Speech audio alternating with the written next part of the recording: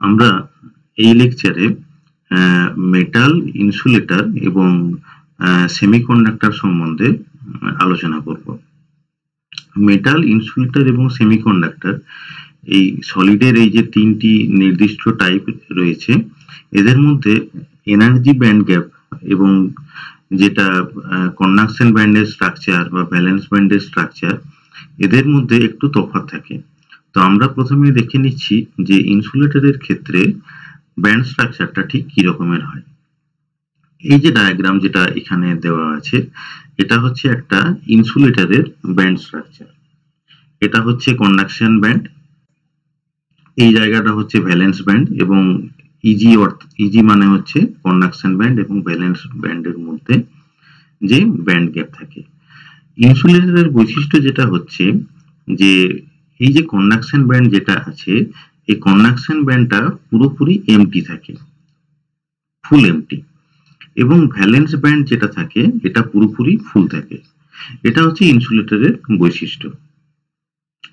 এবার আমরা জানি যে if an electric field is applied there are no particles to move so there will be no current মানে conduction ব্যান্ডের ক্ষেত্রে যেহেতু কোনো ইলেকট্রন নেই তাহলে আমরা ইলেকট্রিক ফিল্ড অ্যাপ্লাই করলেও কিন্তু আমরা কোনো কারেন্ট পাচ্ছি না।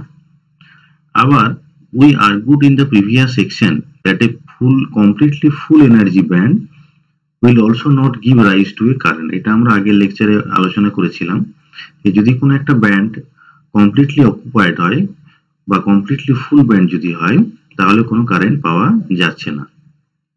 A material that has energy bands either completely empty or completely full is an insulator. The resistivity of an insulator is very large, এটা আমরা জানি, and conductivity of the insulator is very small. There are essentially no charged particles that can contribute to a drift current. যেহেতু conduction ব্যান্ডে কোনো particle নেই তাই drift current পাওয়া যাচ্ছে না এবং একটা ইনসুলেটরের যে ব্যান্ড গ্যাপ সেটা থ্রি পয়েন্ট ফাইভ থেকে সিক্স ইলেকট্রন ভোল্টের মধ্যে হয় so that at room temperature there are essentially no electrons in the conduction band মানে রুম টেম্পারেচারে কন্ডাকশন ব্যান্ডে কোনো ইলেকট্রন থাকছে না।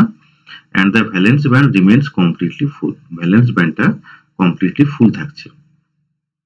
এইবারে আমরা সেমিকন্ডাক্টরের ব্যান্ড স্ট্রাকচার নিয়ে আলোচনা করছি।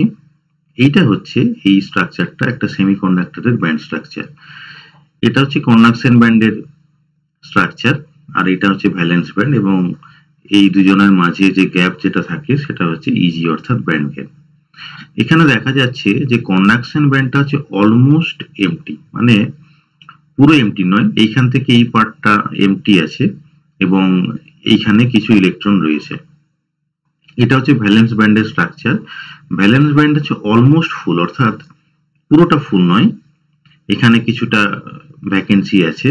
আর নিচের দিকটা, এটা পুরোটা ফিল আছে। তাহলে এটা হচ্ছে সেমিকন্ডাক্টরের ব্যান্ড স্ট্রাকচার। এবং এখানে বিশেষত্বটা কি?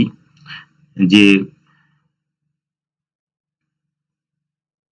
3.20 V shows an allowed energy band that is almost full of electron মানে কন্ডাকশন ব্যান্ড যেটা রয়েছে অলমোস্ট ফুল অফ ইলেকট্রন আছে। তাহলে অলমোস্ট ফুল অফ ইলেকট্রন যদি থাকে, তাহলে কি হবে? যে there is a net flow of charge হবে। আমরা যদি কোনো একটা ইলেকট্রিক ফিল্ড অ্যাপ্লাই করি, তাহলে সেখানে নেট ফ্লো অফ চার্জ থাকছে এবং ভ্যালেন্স ব্যান্ড যেটা আছে, সেটাও কিন্তু almost full of electron which means that we can consider the holes in this band মানে আমরা এটা ভেবে নিতে পারি যে এখানে হোলের ফ্লো হবে, যেটা আমরা আগের লেকচারে আলোচনা করেছিলাম। If an electric field is applied the holes can move and give rise to a current অর্থাৎ আমরা যদি কোনো ইলেকট্রিক ফিল্ড দিই, তাহলে ভ্যালেন্স ব্যান্ডে কিন্তু হোলের মুভমেন্ট হবে এবং আমরা সেখানে কারেন্ট পাবো। আর সেমিকন্ডাক্টরের ক্ষেত্রে এই যে ব্যান্ড গ্যাপ এনার্জি যেটা হবে, সেটা nearly of the order of one electron ভোল্টের মতন হয়। কিন্তু একটা জিনিস মনে রাখতে হবে, এখানে আমরা যে ফিগারটা আমরা দেখছি সেমিকন্ডাক্টরের সেটা কিন্তু টি গ্রেটার দেন জিরো কেলভিনের জন্য। যদি এটা T equal to zero kelvin যদি হতো, তাহলে কি হতো যে এখানে কিন্তু কোনো ইলেকট্রন থাকতো না। এই যে যেখানে দেখানো হয়েছে যে কিছু ইলেকট্রন রয়েছে শেডেড পোর্শন যেটা, সেই শেডের পোর্শনটা থাকতো না। মানে বেসিক্যালি এটা কিন্তু ইনসুলেটরের মতন বিহেভ করতো। টি ইকুয়াল টু জিরো কেলভিনের জন্য। কিন্তু এই ফিগার যেটা দেওয়া আছে, সেটা টি গ্রেটার দেন জিরো কেলভিনের জন্য। এবার আমরা মেটালের ব্যান্ড স্ট্রাকচার নিয়ে আলোচনা করছি। এটা হচ্ছে একটা মেটালের ব্যান্ড স্ট্রাকচার মেটালের ক্ষেত্রে কি হয়? না ভ্যালেন্স ব্যান্ড যেটা থাকে, সেটা কমপ্লিটলি ফুল থাকে। আর কন্ডাকশন ব্যান্ড যেটা আছে, সেটা হচ্ছে পার্সিয়ালি ফিল্ড ব্যান্ড কিন্তু এই কন্ডাকশন ব্যান্ড অর্থাৎ মেটালের কন্ডাকশন ব্যান্ড এবং সেমি সেমিকন্ডাক্টরের কন্ডাকশন ব্যান্ড যেটা আমরা দেখেছিলাম, সেখানে যদি তুলনা করি, তাহলে দেখা যাবে যে এই যে শেডের পোর্শনটা নাম্বার অফ ইলেকট্রন বোঝাচ্ছে। এই শেডের পোর্শন দেখা যাচ্ছে যে মেটালের ক্ষেত্রে অনেকটা বেশি, অর্থাৎ মেটালের ক্ষেত্রে কন্ডাকশন ব্যান্ড ইলেকট্রনের সংখ্যা সেমিকন্ডাক্টর থেকে অনেক অনেক বেশি থাকে। তাহলে কি হবে? যে এখানে প্রচুর electron there are many electrons available for conduction conduction করার জন্য প্রচুর সংখ্যা ইলেকট্রন থাকে। So that the material can exhibit a large electrical conductivity সেমিকন্ডাক্টরের তুলনায় মেটালের যে কন্ডাক্টিভিটি সেটা অনেকটাই বেশি হয়। থ্রি পয়েন্ট ওয়ান বি মানে এই যে ফিগার যেটা আছে, shows another possible energy band diagram of a metal মানে এই ব্যান্ড স্ট্রাকচারটা ছাড়াও অনেক জায়গায় মেটালের ব্যান্ড স্ট্রাকচারকে এইভাবে রিপ্রেজেন্ট করা হয়, অর্থাৎ কি না? এই পোর্শনটা হচ্ছে ভ্যালেন্স ব্যান্ড এবং এটা হচ্ছে কন্ডাকশন কন্ডাকশন ব্যান্ড এবং দুজনের মধ্যে একটা ওভারল্যাপিং থাকে। এটাও অনেক সময় মেটালের ব্যান্ড স্ট্রাকচার হিসেবে দেওয়া থাকে। অর্থাৎ এই দুটো ব্যান্ড স্ট্রাকচার হচ্ছে ভ্যালিড স্ট্রাকচার মেটালের জন্য। এইবার আমরা সিলিকন এবং গ্যালিয়াম আর্সেনাইট এই যে দুটো টাইপের সেমিকন্ডাক্টর আছে, তাদের ইকে কার্ভ সম্বন্ধে একটু আলোচনা করব। এখানে একটা জিনিস আমাদের মনে রাখতে হবে যে distance between atoms varies as the direction through the crystal changes মানে এক একটা সেমিকন্ডাক্টরের কিন্তু একটা স্পেসিফিক ক্রিস্টাল স্ট্রাকচার থাকে। একটা কিউবিক হতে পারে ফেস কিউবিক হতে পারে। অর্থাৎ আমরা জানি যে বিভিন্ন টাইপের ক্রিস্টাল স্ট্রাকচার আছে। এইবার যদি কোনো একটা ইলেকট্রন একটা থ্রি ডাইমেনশনাল স্ট্রাকচারের মধ্য দিয়ে মুভ করতে থাকে, তাহলে কি হবে? যে সে দেখবে যে ডিস্টেন্স বিটুইন দ্য অ্যাটমস অর্থাৎ দুটো অ্যাটমের মাঝের যে ডিস্টেন্স যেটা আছে, সেটা কিন্তু বিভিন্ন ডাইরেকশনে বিভিন্ন রকম হবে। এটা আমরা যদি এই ফিগারটা দেখি, তাহলে বুঝতে পারব। এটা হচ্ছে একটা ফেস সেন্টার কিউবিক ক্রিস্টালের ছবি। এখানে আমরা দেখতে পাচ্ছি যে যদি আমরা ওয়ান জিরো জিরো ডাইরেকশনে যাই, অর্থাৎ এই ডাইরেকশন বরাবর যদি আমরা যাই, তাহলে দেখা যাচ্ছে যে ইন্টার অ্যাটমিক স্পেসিংটা ঠিক যেরকমের আছে। আমরা যদি ওয়ান ওয়ান জিরো ডাইরেকশন বরাবর যেতাম, তাহলে কি হতো যে এই ইন্টার অ্যাটমিক স্পেসিং যেটা আছে, সেটা কিন্তু আলাদা। অর্থাৎ ওয়ান জিরো জিরো ডাইরেকশনের যে ইন্টার অ্যাটমিক স্পেসিং এবং ওয়ান ওয়ান জিরোর যে ইন্টার অ্যাটমিক স্পেসিং এই দুটো কিন্তু আলাদা হয়।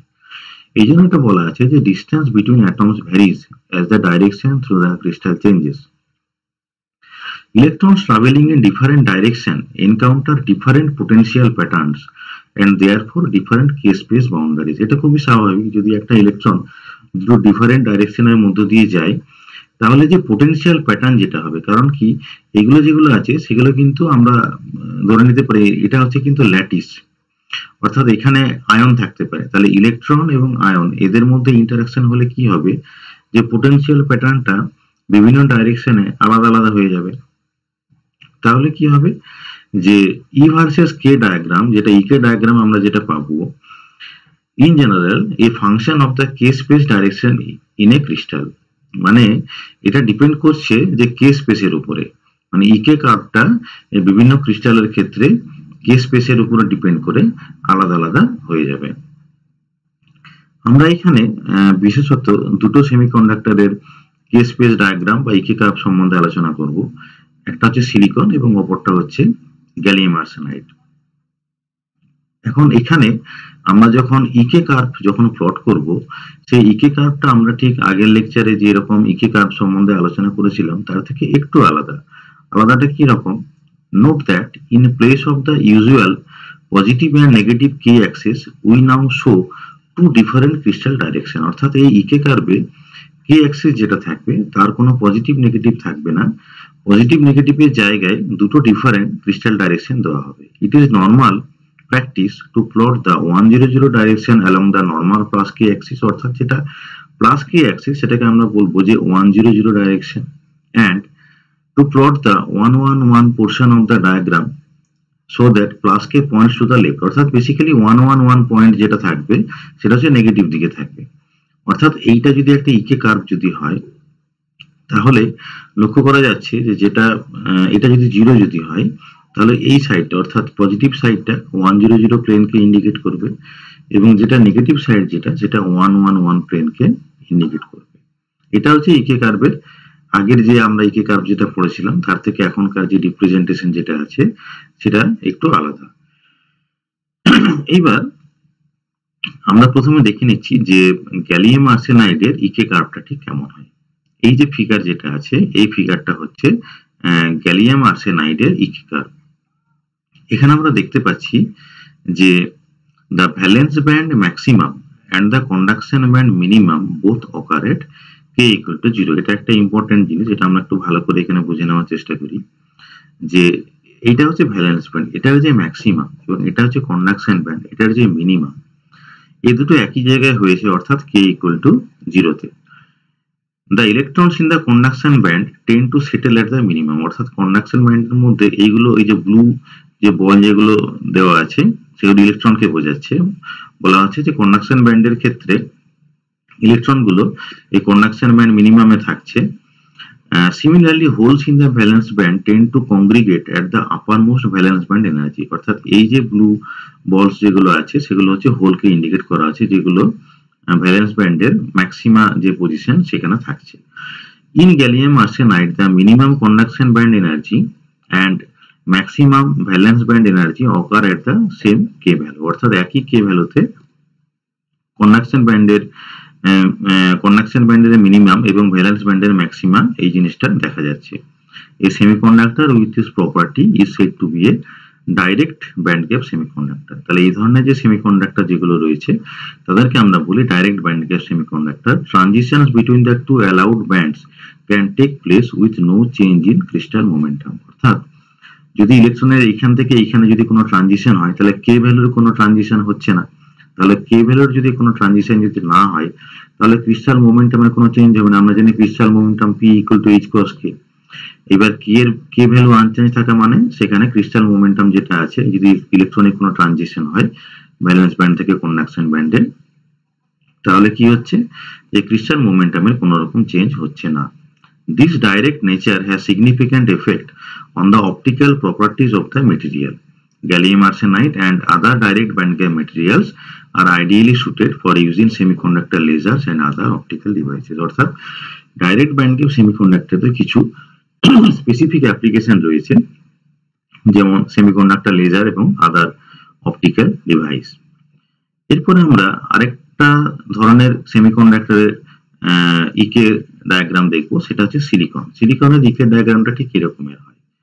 অর্থাৎ ক্যালিয়াম আর্সেনাইডের সঙ্গে সিলিকনের যে ইকে ডায়াগ্রাম যেটা আছে, তার কিন্তু পার্থক্য আছে। পার্থক্যটা কোন জায়গায়? এখানে দেখা যাচ্ছে যে এটা হচ্ছে ভ্যালেন্স ব্যান্ডের ম্যাক্সিমাম। এবং এই জায়গায় যেটা আছে, এটা কিন্তু কন্ডাকশন ব্যান্ডের মিনিমাম।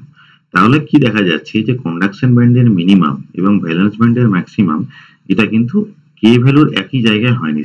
যেমন গ্যালিয়াম আর্সেনাইডের ক্ষেত্রে দেখা যাচ্ছিল যে কে ইকুয়াল টু জিরোতে কন্ডাকশন ব্যান্ডের মিনিমাটা আছে এবং ভ্যালেন্স ব্যান্ডের ম্যাক্সিমাটা আছে। কিন্তু এখানে কি দেখা যাচ্ছে যে কে ইকুয়াল টু জিরোতে ভ্যালেন্স ব্যান্ডের ম্যাক্সিমাটা আছে, কিন্তু এই জায়গাতে অর্থাৎ পজিটিভ কে অ্যাক্সিসের একটা পার্টিকুলার ডাইরেকশনে কন্ডাকশন ব্যান্ডের মিনিমাটা দেখা যাচ্ছে। এটা হচ্ছে যে গ্যালিয়াম আর্সেনাইডের সঙ্গে সিলিকনের ইকে ডায়াগ্রামের পার্থক্য। The difference between the minimum conduction band energy and the maximum valence band energy is still defined as the band gap energy Eg. অর্থাৎ যে ব্যান্ড গ্যাপ যেটা আছে ব্যান্ড গ্যাপের ডেফিনেশনটা কিন্তু একই অর্থাৎ এই যে কন্ডাকশন ব্যান্ডের মিনিমাম এবং ভ্যালেন্স ব্যান্ডের ম্যাক্সিমাম এদের মধ্যেকার যে সেপারেশন যেটা, অর্থাৎ ইজি এটা কিন্তু আগে আমরা যেভাবে ব্যান্ড গ্যাপকে ডিফাইন করেছি, এখানেও ঠিক একইভাবে ব্যান্ড গ্যাপকে আমরা ডিফাইন করছি A semiconductor whose maximum valence band energy and minimum conduction band energy do not occur at the same K value is called an indirect band gap semiconductor. তাহলে এই ধরনের যে সেমিকন্ডাক্টর রয়েছে তাদেরকে আমরা বলছি indirect band gap semiconductor. When electrons make a transition between the conduction and valence bands we must invoke the law of conservation of momentum তাহলে এখানে একটা ইম্পর্টেন্ট জিনিস যেটা হচ্ছে যে যখন একটা ইলেকট্রন ব্যালেন্স ব্যান্ডের থেকে কন্ডাকশন ব্যান্ডে যাবে, তখন আমাদেরকে কনজারভেশন অফ মোমেন্টামের কথাটা ভাবতে হবে। A transition in an indirect band material must necessarily include and interaction with the crystal so that crystal momentum is conserve অর্থাৎ ক্রিস্টাল মোমেন্টাম যদি কনজার্ভ হতে হয়, তাহলে কি হতে হবে? তাহলে সেই ইলেকট্রনের সঙ্গে যে ক্রিস্টালের একটা কিন্তু ইন্টারাকশন হতে হবে। আদারওয়াইজ কিন্তু ক্রিস্টাল মোমেন্টামটা কনজার্ভ হবে না। আগের ক্ষেত্রে যেমন যেটা হয়েছিল যে ক্রিস্টাল মোমেন্টামটা আনচেঞ্জ ছিল। যখন কোনো একটা ইলেকট্রনিক ট্রানজিশন হচ্ছিল ক্রিস্টাল মোমেন্টামটা আনচেঞ্জ ছিল। কিন্তু এখানে ক্রিস্টাল মোমেন্টাম চেঞ্জ হবে এবং সেইটা যদি আমরা ল অফ কনজারভেশন অফ মোমেন্টামের কথা বলে থাকি, তাহলে সেই চেঞ্জটাকে ব্যালেন্স করার জন্য কি হবে? একটা ইলেকট্রনের সঙ্গে ক্রিস্টালের একটা ইনডাইরেক্ট ইন্টারাকশন হবে। জার্মেনিয়ামও কিন্তু একটা ইনডাইরেক্ট ব্যান্ড গ্যাপ মেটেরিয়াল অর্থাৎ সিলিকন জার্মেনিয়াম এগুলো হচ্ছে ইনডাইরেক্ট ব্যান্ড গ্যাপ সেমিকন্ডাক্টর আরেকটা জিনিস আমাদের মনে রাখতে হবে যে, আগে আমরা যে ইকে ডায়াগ্রাম যেটা পড়লাম, সেখানে একটা জিনিস লক্ষ্য করার মতো যে the curvature of the conduction band at its minimum value for gallium arsenide is larger than that of silicon এটা আরেকবার আমরা ছবিটা দেখে নিই। যেটা বলা হচ্ছে যে এটা হচ্ছে কন্ডাকশন ব্যান্ডের মিনিমামের এটা হচ্ছে গ্যালিয়াম আর্সেনাইটের কার্ভেচার আর এটা হচ্ছে সিলিকনের কার্ভেচার এবং ছবিটা দেখে পরিষ্কার হচ্ছে যে গ্যালিয়াম আর্সেনাইডের ক্ষেত্রে এই যে মিনিমামের কার্ভেচারটা কিন্তু, এই সিলিকনের যে মিনিমামের যে কার্ভেচার তার থেকে কিন্তু একটু বেশি। বেশি হলে কি হবে? So that effective mass of an electron in the conduction band of gallium arsenide will be smaller than that in silicon মনে রাখতে হবে যে এফেক্টিভ মাস যেটা আছে, সেটা কিন্তু ইকে কার্ভের যে কার্ভেচার যেটা আছে, তার উপর ডিপেন্ড করে। One by m star equal to one by h bar square d square E by d k square তাহলে কার্ভেচার আলাদা হলে এফেক্টিভ মাস কিন্তু আলাদা হয়ে যাবে। এটা আমাদেরকে মনে রাখতে হবে। এরপরে আমরা একটা ইম্পর্টেন্ট ফাংশন নিয়ে আলোচনা করছি, যার নাম হচ্ছে density of states function the number of carriers that can contribute to the conduction process is a function of the number of available energy or quantum states since by the Pauli exclusion principle one only one electron can occupy a given quantum state তার মানেটা হচ্ছে এরকম যে যখন কোনো conduction process হবে সেই conduction প্রসেসটা কিন্তু ডিপেন্ড করবে যে কতগুলো অ্যাভেলেবেল কোয়ান্টাম স্টেট আছে অর্থাৎ অ্যাভেলেবেল কোয়ান্টাম স্টেট এটাই কিন্তু হচ্ছে density of states density of states কিন্তু ইলেকট্রনিক কন্ডাকশনের ক্ষেত্রে one of the important function density of states এর একটা ম্যাথমেটিক্যাল ডেরিভেশন রয়েছে, এটা কিন্তু আমরা সলিড স্টেট ফিজিক্সে অলমোস্ট পড়েছি। এখানেও ডিটেলসটা দেওয়া আছে। এখানে আমি ডিটেলড যে ম্যাথমেটিক্যাল ডেরিভেশন যেটা রয়েছে, সেটা খুব সিম্পল ভাবে দেওয়া আছে। এই সম্বন্ধে ডেরিভেশন সম্বন্ধে আমি আলোচনা করছি না। আমি একবার যে ডেন্সিটি অফ সেটস এর ফাংশনের এক্সপ্রেশনটা কি রকমের হয়, সেটা একবার দেখে নেওয়া যায় এই ফাংশনটাকে দুরকম ভাবে এক্সপ্রেস করা যেতে পারে। একটা হচ্ছে কি, না জি কে ডিকে অর্থাৎ ডেন্সিটি অফ স্টেটসকে আমরা as a function of k এইভাবে আমরা এক্সপ্রেস করতে পারি এটা হচ্ছে তার এক্সপ্রেশন আরেকটা কি হচ্ছে, যেটা হচ্ছে যে কনভেনশনাল এবং মোস্ট ওয়াইডলি ইউজ সেটা হচ্ছে যে ডেন্সিটি অফ স্টেটস ফাংশনকে as a function of energy এই হিসেবে রিপ্রেজেন্ট করা হয়েছে। এটা হচ্ছে density of function as a function of energy তাতে দেখা যাচ্ছে কি যে this is proportional to root over of p তাহলে এই যে এক্সপ্রেশন যেটা আছে এক্সপ্রেশনটা আমাদের কি দিচ্ছে? যে জিইডি মানেটা হচ্ছে যে total number of quantum states between the energy E and E plus d E in the crystal space volume of a অর্থাৎ আমরা যদি কোনো একটা ক্রিস্টাল ভলিউম এ কিউব নিই এবং সেখানে ই এবং ই প্লাস ডিই এই যে এনার্জি রেঞ্জ যেটা আছে এই এনার্জি রেঞ্জের মধ্যে এতগুলো quantum states available if we divide the volume by cube, then we will obtain the density of quantum states per unit volume. অর্থাৎ আমরা যদি এই এক্সপ্রেশনটাকে a কিউব দিয়ে যদি ভাগ করে দিই তাহলে এখন যে এক্সপ্রেশন যেটা রয়েছে সেটা হচ্ছে কি? না density of states per unit volume of the crystal এইবার এই যে এক্সপ্রেশন যেটা আমরা ডিরাইভ করেছি ডেন্সিটি অফ স্টেটস এর, এটা কি হবে? এটা সেমি সেমিকন্ডাক্টরের কন্ডাকশন ব্যান্ড এবং ভ্যালেন্স ব্যান্ড এই দুজনের ক্ষেত্রে কিন্তু আলাদা হবে। যেমন ধরে নেওয়া যাক, এটা যদি কন্ডাকশন ব্যান্ড যদি হয়, তাহলে কন্ডাকশন ব্যান্ডের ক্ষেত্রে এইটা হচ্ছে ডেন্সিটি অফ সেটস এর expression density of allowed electronic energy states in the conduction band ঠিক একইভাবে ভ্যালেন্স ব্যান্ডের ক্ষেত্রে this is the expression expression of the density of states in the valence band এটাও আমি ডিটেল ডেরিভেশন সম্বন্ধে আলোচনা করছি না। এটা জাস্ট আমরা আগে যে এক্সপ্রেশনটা ডিরাইভ করেছি, তার থেকে আমরা এই এক্সপ্রেশনগুলো ডিরাইভ করতে পারব। এবং যদি এটা ফরবিডেন এনার্জি যদি হয় ফরবিডেন এনার্জি হলে এই ডেন্সিটি অফ সেটস এর ভ্যালুটা কিন্তু জিরো হবে। এই যে ডেন্সিটি অফ সেটস এর কন্ডাকশন ব্যান্ডের ক্ষেত্রে যে ভ্যালু এবং ভ্যালেন্স ব্যান্ডের ক্ষেত্রে যে ভ্যালু যেটা আছে, এই এক্সপ্রেশনগুলো আমরা যখন চার্জ ক্যারিয়ারের যখন এক্সপ্রেশন যখন আমরা করব ইন্ট্রিজিং চার্জ ক্যারিয়ার কত, তখন কিন্তু এই যে এক্সপ্রেশনগুলো কাজে লাগবে। আরেকটা জিনিস আমাদের জেনে নেওয়া যায় যে এই যে density of states in the conduction band এবং density of states in the valence band এগুলোকে আমরা যদি প্লট করি as a function of E তাহলে এটা দেখতে এরকম হবে। অর্থাৎ কন্ডাকশন ব্যান্ডের ক্ষেত্রে ডেন্সিটি অফ সেটস এর স্ট্রাকচার কার্ভটা ঠিক এরকমের হয় এবং ভ্যালেন্স ব্যান্ডের ক্ষেত্রে ঠিক এরকমই হয়। এই ফিগারটা একবার ভালো করে আমাদেরকে দেখে নিতে হবে। এইবার আমরা সেমিকন্ডাক্টর ফিজিক্স আলোচনা করার জন্য স্ট্যাটিস্টিক্যাল মেকানিক্সের একটু কনসেপ্টের প্রয়োজন হবে। আমরা জানি যে স্ট্যাটিস্টিক্যাল মেকানিক্সে আমরা মূলত তিন ধরনের ডিস্ট্রিবিউশনের কথা বলেছি। একটা হচ্ছে Maxwell Boltzmann distribution Bose Einstein distribution এবং ফার্মি ডাইরেক্ট ডিস্ট্রিবিউশন কিন্তু আমরা এই যখন সেমিকন্ডাক্টর ফিজিক্স ইলেকট্রনিক কন্ডাকশন নিয়ে আলোচনা করব তখন ফার্মি ডাইরেক্ট ডিস্ট্রিবিউশন যেটা আছে, সেটা কিন্তু আমাদের কাজে লাগবে। electrons in a crystal obey this law in each case the particles are assumed to be non-interacting অর্থাৎ ইলেকট্রন কিন্তু ফার্মি ডাইরেক্ট ডিস্ট্রিবিউশন মেনে চলে। এইবার আমরা একটা ইম্পর্টেন্ট ফাংশন যেটা হচ্ছে প্রবাবিলিটি ডিস্ট্রিবিউশন ফাংশন সেটা সম্বন্ধে একটু আলোচনা করব। তার আগে আমরা এটার এক্সপ্রেশনটা দেখে নিই।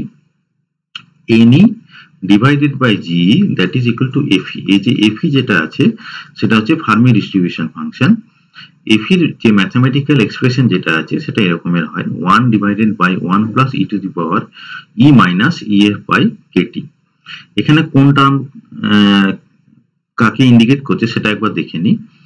এনি মানে হচ্ছে number of particles per unit volume per unit energy আর জি যেটা হচ্ছে, সেটা হচ্ছে number of quantum states per unit volume per unit energy আর the function Fe is called the Fermi-Dirac distribution or probability function and gives the probability that a quantum state at the energy E will be occupied by an electron তাহলে Fe মিনিংটা আমাদেরকে ভালো করে বুঝে নিতে হবে Fe হচ্ছে একটা probability function কিসের probability that a quantum state at the energy E will be occupied by an electron আর এখানে ইএফ e মানে কি? ইএফ e মানে হচ্ছে ফার্মি এনার্জি এইবার এই ফাংশনের যে স্ট্রাকচার এই যে স্ট্রাকচার যেটা আছে, এই স্ট্রাকচার থেকে আমরা এইবার দুটো পার্টিকুলার কেস নিয়ে আলোচনা করছি। প্রথম কেসটা হচ্ছে কি? যে T equal to zero kelvin অর্থাৎ টেম্পারেচারের ভ্যালু আমরা জিরো কেলভিনে রেখেছি। And we consider E less than E F আমরা প্রথমে এই কেসটাতে আলোচনা করছি, অর্থাৎ ফার্মি এনার্জির যে ভ্যালু যেটা হবে এই এনার্জির যে ভ্যালু যেটা হবে, সেটা হচ্ছে ইএফ এর থেকে কম হবে, ফার্মি এনার্জি থেকে কম হবে। তাহলে কি হবে? ই লেস দেন ইএফ যদি হয়, আর T equal to zero kelvin যদি বসাই, তাহলে এই যে এক্সপ্রেশন যেটা আছে, এখানে T equal to zero kelvin বসাচ্ছি, আর ই লেস দেন ইএফ অর্থাৎ নিউমারেটর যেটা আছে, সেটা বেসিক্যালি হচ্ছে নেগেটিভ তাহলে নেগেটিভ যদি হয়, তখন কি হবে? এই যে এক্সপোনেনশিয়াল ফাংশন যেটা হবে, সেটা হবে E to the power minus infinity অর্থাৎ জিরো তাহলে আলটিমেটলি যেটা ডিস্ট্রিবিউশন ফাংশন এফি সমান ওয়ান হবে। এবার আমরা আবার T equal to zero kelvin ধরে নিচ্ছি এবং আমরা ধরছি যে যখন ই গ্রেটার দেন ইএফ অর্থাৎ নিউমারেটর যেটা আছে, সেটা কি হচ্ছে না পজিটিভ হচ্ছে?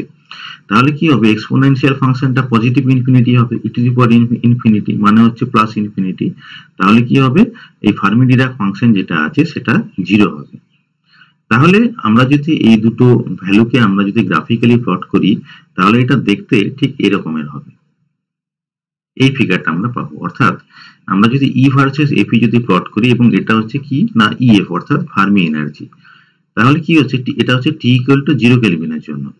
তাহলে টি ইকুয়াল টু জিরো কেলভিনে ই লেস দেন ইএফ যদি হয়, তাহলে এফির ভ্যালুটা হচ্ছে ওয়ান আর ই গ্রেটার দেন ইএফ যদি হয়, তাহলে এফির ভ্যালুটা হচ্ছে জিরো এই দুটো জিনিস আমরা এখানে ম্যাথমেটিক্যালি ডিটাইভ করলাম। এবং এটার মিনিংটা কি? না this result shows that for T equal to zero kelvin the electrons are in their lowest possible energy state অর্থাৎ ফার্মি এনার্জি নিচে আছে। The probability of a quantum state being occupied is unity for E less than E F অর্থাৎ E less than F যদি হয়, তাহলে the probability of occupancy one হয়ে যাবে। And the probability of a state being occupied is zero for E greater than E F E greater than E F হলে তখন কি হবে না? প্রবাবিলিটি অফ অকুপেন্সিটা জিরো হয়ে যাবে।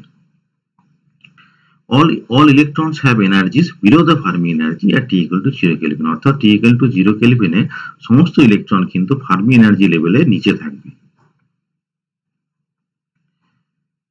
আরেকটা জিনিস দেখে নেওয়া যাক যে density of states versus E এর সঙ্গে যদি জি যদি প্লট করা হয়, অর্থাৎ জি এর এক্সপ্রেশনটা আমরা আগেই দেখে নিয়েছি কত হবে। এর জি এর এক্সপ্রেশনটা ই এর সঙ্গে প্লট করলে এই ধরনের একটা স্ট্রাকচার পাওয়া যায়। এটা আমাদেরকে দেখে নিতে হবে। এবং এটা হচ্ছে ইএফ অর্থাৎ ফার্মি এনার্জির ভ্যালু ফার্মি এনার্জির টি ইকুয়াল টু জিরো কেলভিনের জন্য ফার্মি এনার্জির নিচে এই পুরো জায়গাটা শেডেড আছে মানে ইলেকট্রনগুলো সব এই জায়গায় আছে। এবং এখানটা ফাঁকা মানে হচ্ছে যে এখানে কোনো ইলেকট্রন নেই। The change in the electron distribution among energy levels for T greater than 0 Kelvin can be seen by plotting the Fermi-Dirac distribution function. অর্থাৎ টি গ্রেটার দেন জিরো কেলভিনের জন্য যে ফার্মিডারাং ডিস্ট্রিবিউশনটা কেমন হবে সেটা আমরা এবার দেখব if you let E equal to E F and T greater than zero kelvin তখন কি হচ্ছে যে T greater than zero kelvin যদি হয় এবং E greater E equal to E F যদি হয়, তাহলে কি হবে এফ এর ভ্যালু হবে one by one plus e to the power zero তার মানে হচ্ছে ওয়ান বাই টু অর্থাৎ half the probability of a state being occupied at E equal to E F is half অর্থাৎ ই ইকুয়াল টু ইফে যে probability of occupancy যেটা হবে, সেটা কিন্তু হাফ হয়ে যাবে। এটা এই ফিগারটা থেকে দেখা যাবে। এই ফিগারে কি করা হয়েছে? যে এটা হচ্ছে টি ইকুয়াল টু জিরোর জন্য গ্রাফ যে রেক্টেঙ্গুলার শেপে যেটা আছে, অর্থাৎ এরকম এরকম স্টেপ ফাংশনের মতন যেটা আছে, সেটা হচ্ছে টি ইকুয়াল টু জিরোর জন্য। এবং এই দুটো কার্ভ যেটা ড্র করা হয়েছে, সেটা হচ্ছে দুটো টেম্পারেচার একটা কি? না, একটা হচ্ছে যে টি টু এই নিচের কার্ভটা হচ্ছে টি টু যেটা হচ্ছে টি ওয়ানের থেকে বেশি, আর উপরে যে কার্ভ যেটা আছে, সেটা হচ্ছে T equal to T one তাহলে টি এবং এই দুজনের ক্ষেত্রে আমরা দেখতে পাচ্ছি যে যখন এই কার্ভ দুটো ইএফ এর, এই যে ইএফ যেটা আছে ইএফ এর ইএফটাকে যখন ক্রস করবে, তখন ঠিক এই জায়গাতে দেখা যাচ্ছে যে এফ এর ভ্যালুটা কিন্তু হাফ হচ্ছে।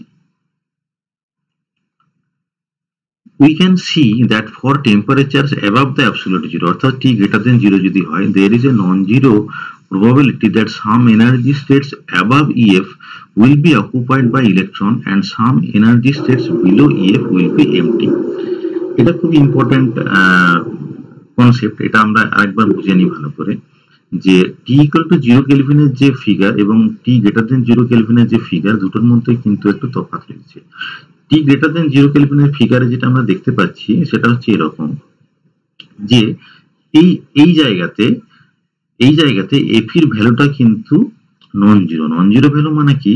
যে ইএফ এর বেশি ই যদি ইএফ এর থেকে যদি বেশি হয়, তাহলে কি হবে? সেখানে একটা ফাইনাইট প্রবাবিলিটি অফ অকুপেন্সি থাকছে এই জায়গাটাতে, যেটা টি ইকুয়াল টু জিরো কেলভিনের জন্য ছিল না। এবং একইভাবে আমরা বলতে পারি যে এই জায়গাটাতে কি হচ্ছে? যেটা টি ইকুয়াল টু জিরো কেলভিনের জন্য কি হচ্ছিল? যে ইএফ এর নিচে গেলে এফ এর ভ্যালুটা ওয়ান হচ্ছিল। কিন্তু দেখা যাচ্ছে যে টি গ্রেটার দেন জিরো যদি হয়, অর্থাৎ এই কার্ভগুলোর ক্ষেত্রে এফির যে ভ্যালুটা ওয়ানের থেকে কমে যাচ্ছে। ওয়ানের থেকে কমে যাওয়া মানেটা হচ্ছে যে সেখানে কি হচ্ছে, যে কিছু ভ্যাকেন্সি থাকছে, অর্থাৎ ফুল অকুপেন্সি থাকছে না।